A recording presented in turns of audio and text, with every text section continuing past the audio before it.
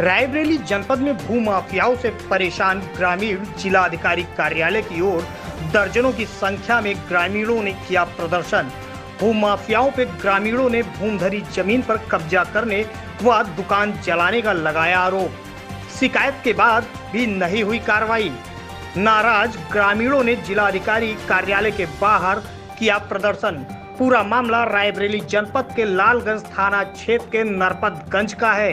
नरपतगंज चौकी से चंद कदमों की है पूरी वारदात। आइए आपको भी सुनवाते हैं क्या कहा गाँव से आए हुए ग्रामीणों ने। नाम परिचय बताइए। जी मैं कमलेश लोधी। क्या हाँ। समस्या है आपकी? हमारी ज़मीन में हमारी ज़मीन जो है हमारे गाँव से दो किलोमीटर की दूरी पे नरपतगंज बाज़ार में है जो थाना कोतवाली लालगंज तहसील डलमऊ में लगती है। उस ज़मीन की हदबरारी पत्थर नसब सब कुछ हो गया। और उसमें जो है दबंग लोग ज़बरदस्ती लाश गाड़ देते हैं। कौन दबंग लोग लाश वहीं के ग्रामीण लोग अनुसूचित जात के व्यक्ति हैं जो ज़बरदस्ती लाश गाड़ देते हैं। अब तक चार डेड बॉडी गाड़ी गई हैं।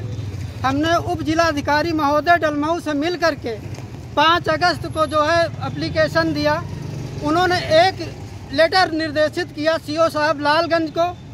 थाना प्रभारी कोतवाली लालगंज को, पुलिस चौकी नरपतगंज को, कि अब भविष्य में इनकी ज़मीन में कभी जो है डेड बॉडी मृत लाश न दफनाए जाए नहीं पावे।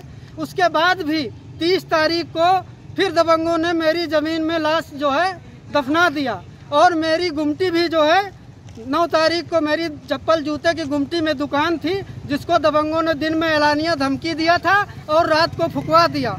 उसके संबंध में मैंने उसी दिन जो है थाना प्रभारी लालगंज को एक प्रार्थना पत्र दिया लेकिन अभी तक उसमें जाँच को कहकर मामला टाल दिया गया अभी तक कोई कार्रवाई नहीं। आए हैं आप लोग? हम आज डीएम साहब से अपनी समस्या को लेकर मिलने आए इससे पूर्व भी मैं डीएम साहब से मिल चुका हूँ और प्रार्थना पत्र दे चुका हूँ।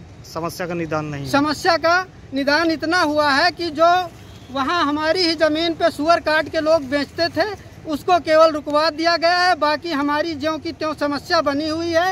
उप जिलाधिकारी महोदय से मैंने फिर जाके मिला तो उन्होंने कहा मैंने जो है आदेश कर दिया है। ये काम जो है पुलिस विभाग का है। आपकी ये समस्या बाकी ग्रामीण जो हैं आपके साथ ये कौन लोग हैं? ये सब हमारे सहयोगी हैं वहीं के लोग हैं।